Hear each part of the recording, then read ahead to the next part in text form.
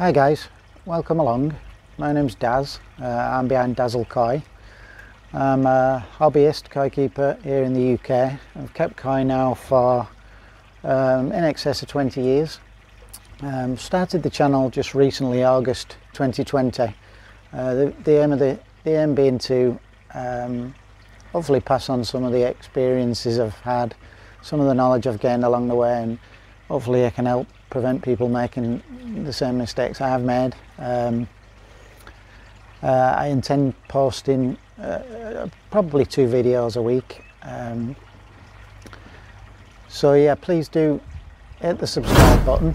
Um, don't forget to hit the notification bell as well to receive notifications um, and, and, and enjoy the content.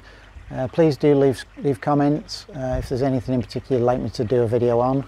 Please put it, put it in a comment um, and, and I'll see what I can do and, and uh, in the meantime, uh, everyone stay safe and I'll see you soon in a new video.